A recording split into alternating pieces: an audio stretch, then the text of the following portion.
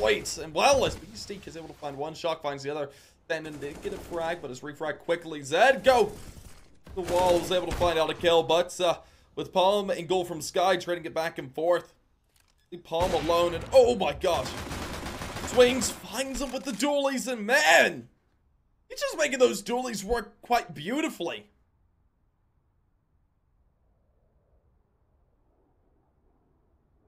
Oh, Beastique. All alone now. 1v1. Oh, seems to be aware. Palm right now doesn't show his face. But, oh, timing. That's a bit rough for Beastie. He was watching Heaven there, but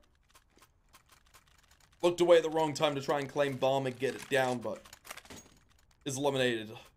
Did we get it all down to